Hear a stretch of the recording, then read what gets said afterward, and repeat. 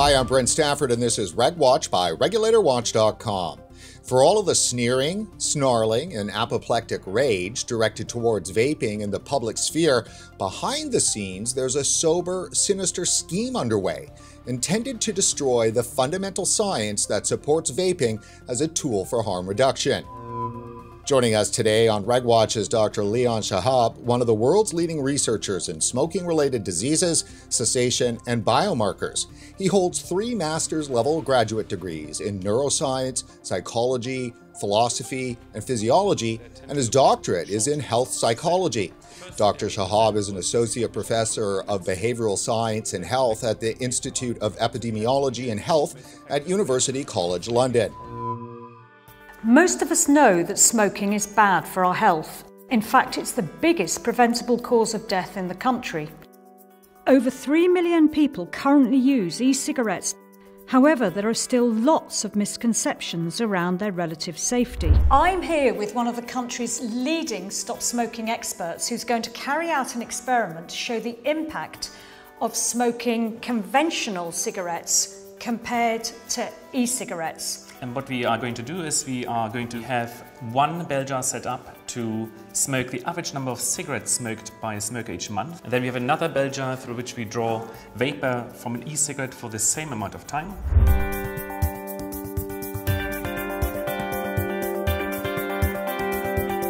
And here is the bell jar with cigarette smoke.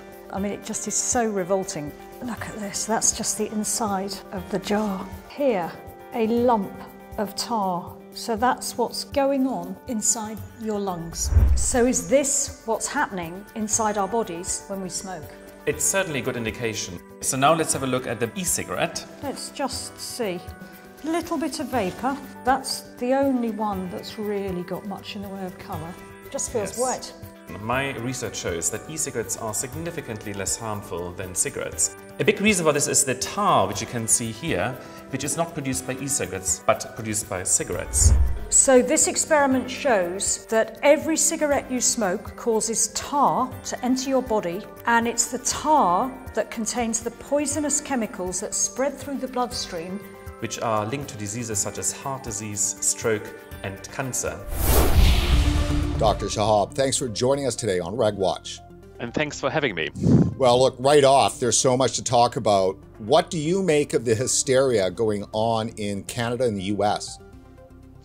Well, either I think this represents a genuine case for concern for vaping, or there's something else going on. And as I mentioned, uh, my background in part is in epidemiology, and as an epidemiologist, I think it's highly likely that it's the latter, i.e., that there's something else going on. And the reason we know this, I think, is because there are already 40 million users worldwide uh, who have used e-cigarettes for over a decade with no previous incidences of these so-called vaping lung diseases. And one could argue, of course, that uh, this the fact that they only come out now is because they were missed earlier, not recorded. But that seems quite unlikely because in most places, including, for instance, in the UK, we have notification schemes in place to protect the public. So the UK Medical and Healthcare Products Regulation Agency has a yellow card scheme where people can report any kind of adverse events. And given there are about 3 million users in the UK, since 2016, there have been less than 100 cases reported of any kind of adverse events, none of which were what we would call a vaping lung disease. So it's unlikely it's just been missed so far. Um, what is more interesting really is in this particular event, it seems that it's pretty localized to the North American context. As you mentioned, it's in Canada and America, with most cases sharing quite a lot of specific characteristics. And the characteristics appear to be these are younger users. They're people who have used cannabis related products, for instance, uh, tetrahydrocannabinol, or THC as it's called.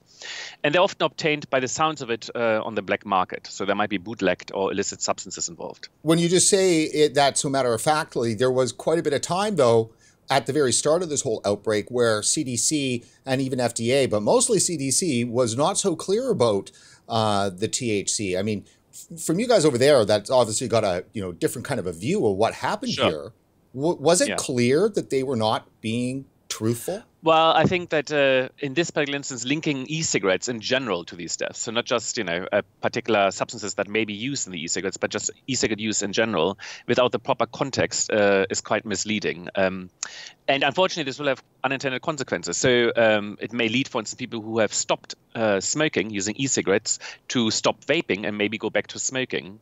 Um, in particular when you know when there's this kind of uh, this uh, this uh, uh, debate around whether they are less harmful or you know more harmful than cigarettes. In the UK, for instance, we've seen that even before the latest incidents. Uh, of this reporting of vaping lung diseases in the media, there has been an uptick in the number of smokers who believe e-cigarettes to be as harmful as smoking. But 45% in the UK now already believe they're as harmful as smoking, and a further 15%, 15% think it's more harmful.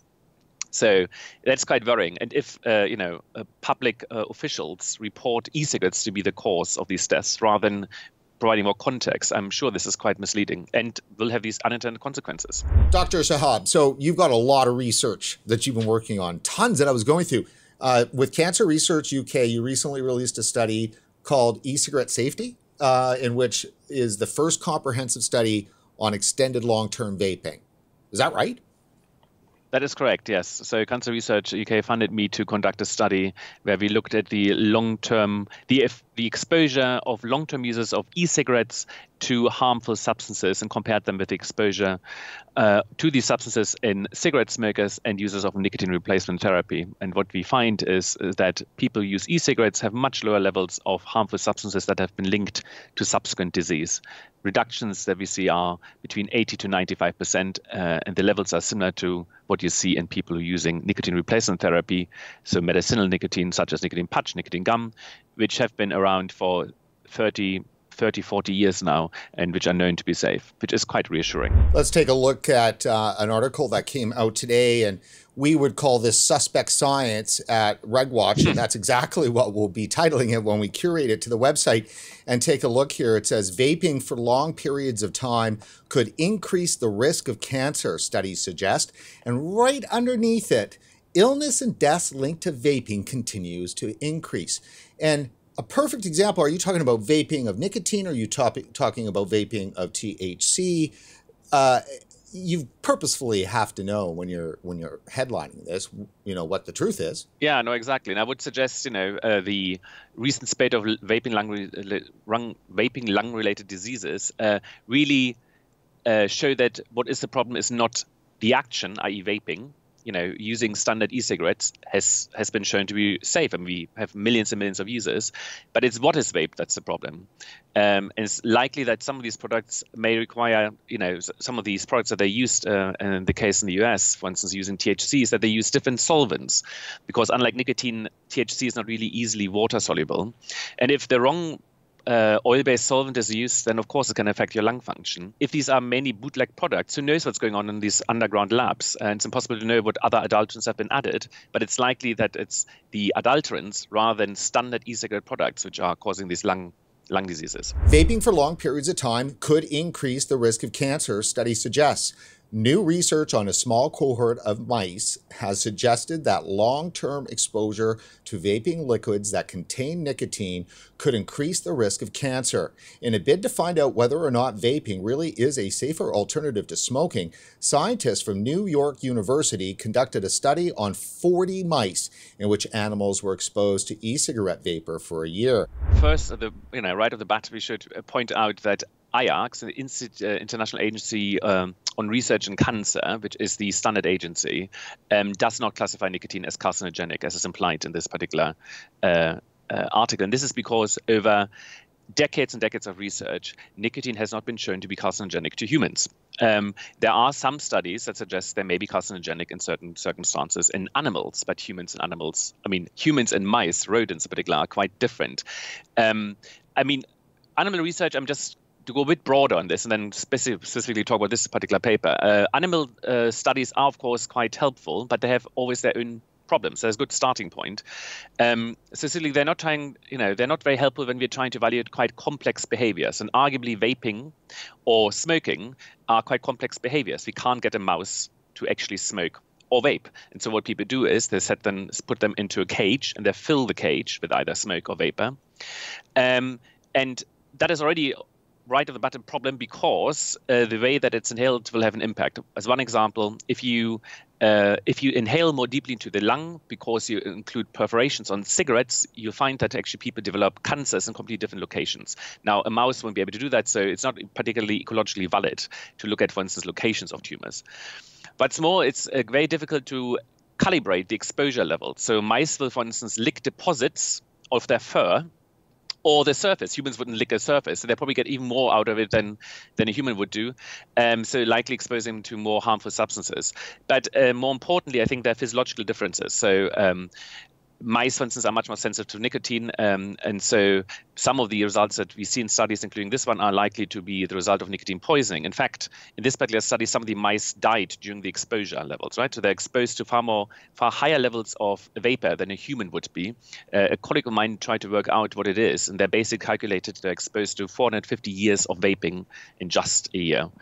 And that tells you something about the fact that these are quite unrealistic use conditions that need to be taken into consideration. Is there an epidemic of vaping in the US?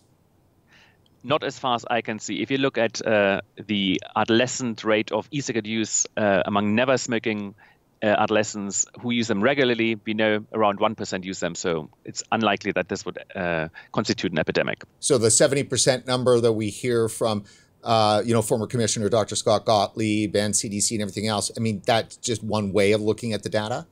Well, that's one way of looking at it when you just measure if kids have ever used an e-cigarette, which clearly doesn't represent, you know, an epidemic uh, in the sense that you know they're using them regularly. In fact, kids who use e-cigarettes, most of them haven't used them more than ten times in their whole lifetime. So that's unlikely to be an epidemic. So if there's no epidemic of teen vaping, and let's be clear with our audience, we're talking about traditional nicotine vaping that's legal in Canada and of course in the U.S. You know, all the ingredients have been sent in, and there's a process there that that's all being legalized too as well well. So if that's the case and there's not an epidemic, uh, is the hysteria justified? Well, clearly it isn't really, because um, if if we consider the fact that people are worried that kids use an e-cigarette and then go on to go smoking, this clearly can't be justified given that we know that over the same time period that e-cigarette use, even not regular e-cigarette use, has increased cigarette smoking rates have decreased quite dramatically in the US. What about the CDC then in the lung illness? Because there clearly was an effort, I would say, to connect traditional nicotine vaping to the lung illnesses. We see it still being done in the media today. Is that part of the hysteria? I suspect it is, and I think it's part of a general, quite misleading way of presenting some of the science that is occurring in, in our field. So, linking e cigarettes to these deaths without any proper context, I think, is very misleading. Unfortunately, we will have consequences for people who are using e-cigarettes at the moment who are starting to feel that these are as harmful as cigarettes when clearly they're not and therefore may go back to smoking and therefore may die because of smoking related diseases. Is it fair to say that this lack of information could have caused more exposure, more illness, and potentially deaths? It is possible, as a scientist, I withhold judgment whether this is actually the case obviously, if we think there's some kind of uh, adulterants being used that have caused the lung disease and it's not made clear that it's not e-cigarettes in general, but the fact that there are adulterants being used or that particular uh, cannabis-related products being used that are bought Ill- uh, illegally, which which are the problem. Then if you don't make the public aware of it, then clearly they won't necessarily stop do- using these products. And so it's important to uh, to identify the actual cause of these vaping lung diseases. By not doing so and by linking it to general e-cigarette use, you will dissuade people who are using standard safe e-cigarettes from using them and go back they might go back to smoking which would be terrible. Now could that not actually be a public health disaster? It it could be it could very well yeah i don't know. I, I yes yes i would agree. Yeah sorry. Yeah well i know it's hard to it's hard I to mean, put your head around that because this is public health they're yeah. they're and they know the same thing that you know deeply is there a dis- is, is there a dissonance for you to have to think about that that your colleagues actually could be so treacherous? Um, well, uh, if they are uh, willfully misleading the public, that is that would be quite shocking. And I'm I am trying to you know think about why why this is or why you know what causes people to claim against better evidence being available that e-cigarettes are you know a produce an epidemic or b are uh, harmful as harmful as cigarettes when they you know would have to know that this can't really be the case given very simple uh, considerations uh, including the fact there's no combustion going on. It does surprise me. I would just argue, really, that uh, maybe in the UK uh, we look at the cold hard facts. And so, one cold hard fact I can give you in relation to this uh, recent spate of lung disease is that yes, it's unfortunate, in particular that kids uh, uh, die. Um, and I think the numbers were 18 kids have died, in about a thousand cases. Um, but if you look at the cold facts and you look at public health uh, at population level, over the same time period, so last two months, about 75,000 smokers have died in the USA. And equally, over the same time period, there were 21,000 people affected by eating contaminated food and 500 deaths just due to eating contaminated food. Now, nobody would argue, therefore, we have to, you know, ban all food you just have to, you know, take a reasoned, reasoned approach to the fact that it's likely there's some kind of contamination going on, some kind of adulteration in some of these products. But by comparison, it is, it is, I think, very clear to me, anyhow, if you look at public health outcome on the whole, is that you know smokers are the people that we have to help, and they tend to be older. It's true. I don't think there is so much of an epidemic as people make out uh, there to be in the U.S., for instance, when it comes to teen smoking. So I can give you some figures on if you want me to. Please. Okay, uh, because I I think that is that is something that has uh, to do with this whole uh, discourse. You're quite right about the fear that you know there's a whole uh, generation now of kids being addicted to nicotine in the US, and if you want to answer the question whether there's an epidemic, you really have to ask, you know, how do you measure e-cigarette use? So if you think about ever use, yes, a large proportion of adolescents have tried e-cigarettes, about 40% in the US, I think.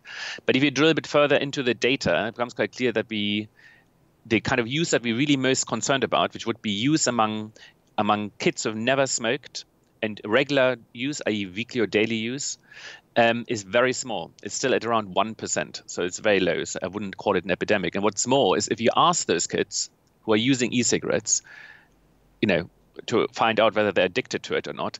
Uh, do you have cravings for your e-cigarette, or would you use an e-cigarette within 30 minutes of waking? Four percent say yes four percent of those kids that you know the, the few kids that use e-cigarettes regularly anyhow, and in fact about 60 odd percent of kids who say they have used e-cigarette and e-cigarette uh, have used it in less than 10 days in their whole life. So it seems as clearly overstated the whole epidemic that is uh, being, you know, the idea that's being propagated in the US. Then that's US stats. I was just going to ask that. So how fresh is this analysis? Is this 2019 stats? Uh, this is data, I think, from National Youth Tobacco Survey, uh, which was uh, recently put out by colleagues of mine here at UCL, which looked at data from 2014 to 2018. Um, but the latest data, for instance, if you think about the concern that e-cigarette use will drive up cigarette smoking later, the latest data show that e- that cigarette consumption or cigarette uh, prevalence among kids has declined even further in 2019, uh, which sort of uh, puts the whole idea of a strong gateway effect to rest, as far as I can tell. Because you know, if there's a gateway effect, I'm not quite sure how long one has to wait for it to translate into actual population data. And the population data do seem to suggest that over the same time period that e-cigarettes have become more popular among among adolescents, cigarette consumption, cigarette prevalence has continued to plummet. It's now, I think, at the lowest rates that's ever been recorded. So all the discussion then about gateway, so starting with an e-cigarette and moving to a cigarette, that might not be the right metric here. We should be thinking of it as a barrier. Yes, I mean, e-cigarettes can also introduce. I mean, it's entirely possible that uh, somebody who's who uses an e-cigarette when they come into an environment where they normally would have smoked a cigarette would not pick up a cigarette, but instead use the e-cigarette, And so they would be prevented from becoming a smoker, which sort of makes sense if you think about the fact that you know cigarettes stink and smell. They're quite expensive, and they're also not considered to be anything that's very cool anymore because they're much less popular uh, than they used to be. And so it is. It's only one side of the story to say that there might be a gateway from e-cigarettes to cigarettes. It's also possible there's a gateway away from smoking if you use an e-cigarette. And uh, the data, population level data, certainly would not suggest there's a strong gateway to smoking, given that smoking prevalence has decreased whilst e-cigarette use has increased. One of the biggest complaints or, or attacks is the fact that there's no longitudinal studies. There's no long-term studies. And that and that attack is so prevalent and runs so deep, it's actually burned into the public's mind any Joe public, when you bring up vaping like this or whatever, they're like, well, there's really not enough long term studies on that. We don't really know, right? And so, how does your research uh, you know, challenge that. Okay, so I mean, first of all, as a as a, a you know, as a first point of refuting the kind of the argument about you know there not being any kind of long-term evidence, we do in fact have some long-term evidence now, insofar as people have been using it for over a decade, and as I mentioned before, people long-term by the way, this is something I didn't mention about the lung uh, diseases that are related to vaping. These are all acute events. They don't appear to be chronic events. And when you think about long-term effects, you're talking about chronic effects and chronic events. Um, and there hasn't been, given the number of uh, millions of uh, e-cigarette users, we haven't seen any kind of uh, increase uh, in reporting of particularly diseases that are chronic associated with vaping. Uh, the other thing is, just if you don't know anything at all, just you know, basic chemistry at high school level or whatever, we know a priori already that cigarettes have to be much more harmful because cigarettes combust, they burn things. And there are about 700 or so uh, chemicals, constituents in tobacco, which are turned to about 7,000 when you burn them, including 70 known carcinogens. And you burn them at 800 degrees, and that is always going to be bad for you. By comparison, e-cigarettes contain relatively few components, including propylene glycol, vegetable glycerin, nicotine, um, and flavorings, and they are not burning anything at all. So they're warmed up to 250 degrees Celsius. So even if you don't know anything else about it, you have to say that everything else being equal, ceteris paribus in Latin, they should be less harmful. Um, now, one thing that we can do in order to work out likely long-term effects is to look at what are called biomarkers, uh, and these are basically the byproducts of your body ingesting something, including, for instance, cigarette smoke or vapor, and then it interacts with it and breaks it down. So you have a metabolite, and you can look at the level of metabolites in users of different products. Uh, one of these metabolites that is very well characterized is called NNAL, which is a nitrosamine, which in long term studies has been linked to the development of lung cancer. And what you can then do is, without having to wait for 20 or 30 years, you can now already look at the kind of substances in the body of a user and see whether they're present at the same level as you see in cigarette users. And what we found in our study is that when you compare and look at these particular harmful substances, they are reduced by about 97% compared with somebody who's a cigarette smoker.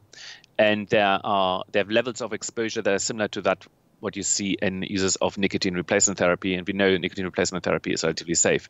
In fact, a colleague of mine tried to estimate the cancer-causing uh, uh, uh, no, what do you call carcinogenicity, essentially, of e-cigarettes, and he estimated it is about one percent of the carcinogenic uh, potential of of cigarettes.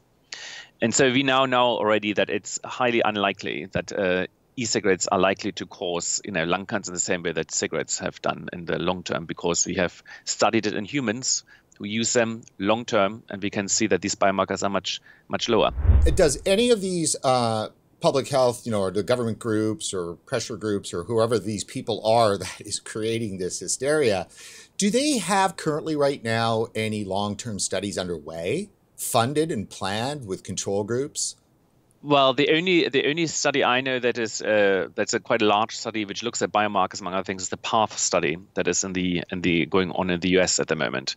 Um, I'm sure there might be other studies that I'm not aware of. Um, but the the best way I think to actually estimate whether there is an impact. Uh, long-term health impact is to look at registration data. For instance, I would suggest that one would look what one can do is look at the prevalence of e-cigarette at population level and try to associate it with changes controlling for other influences, the changes in the incidence of particular diseases, which would be one way of addressing the question. But as I said, uh, you know, this, these, these, this statements, for instance, that Public Health England has made, uh, or other or the Royal College of Physicians, that uh, e-cigarettes are magnitudes of order safer than cigarettes is not. These don't come out of a vacuum of knowledge, right? We have we have decades and decades of research on the dangers of cigarettes, and based on the research, we can be quite confident that we know that people who use e-cigarettes are exposed to much lower levels of harmful substances. And so therefore, everything else being equal, you would assume they are much less likely to develop diseases subsequently.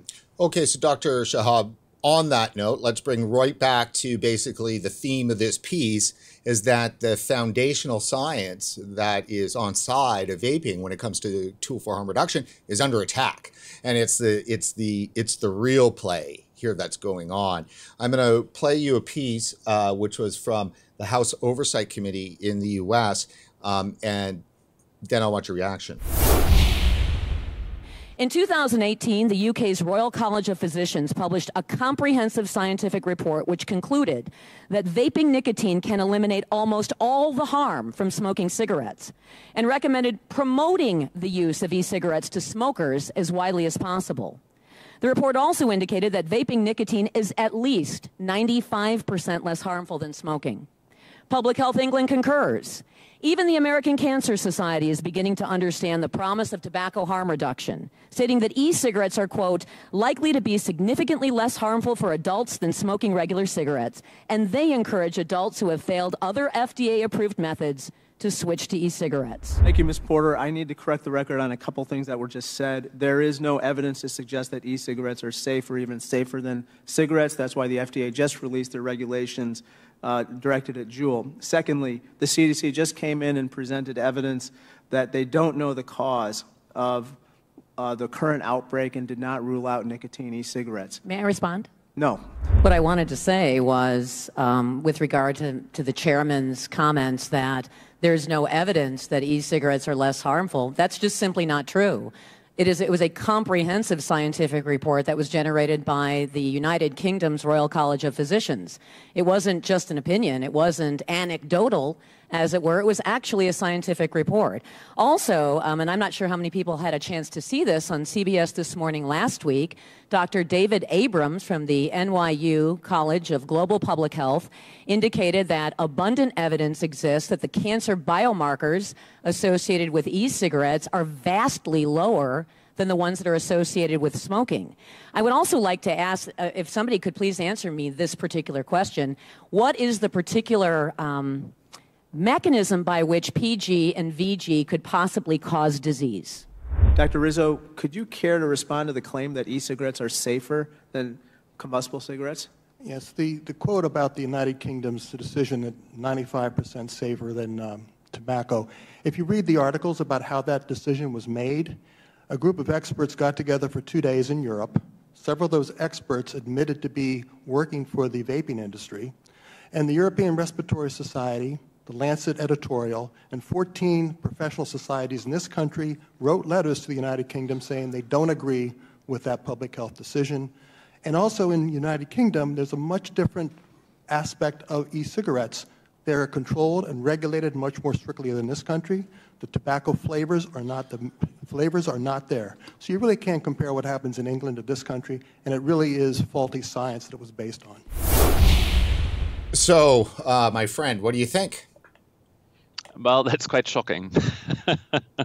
I would say. I mean, there are various misleading statements being made uh, by people, including, for instance, the claim, which I don't know is being reiterated, that the the evidence uh, to support the 95% reduction is based on uh, on a Delphi exercise, which is basically having experts come together. As I just mentioned, uh, there is a study um, uh, which is well cited in a journal called Tobacco Control, which has looked at the potential of e-cigarettes to cause cancer, estimating on quite scientifically sound methodology, estimating it to be 1% of that of a cigarette.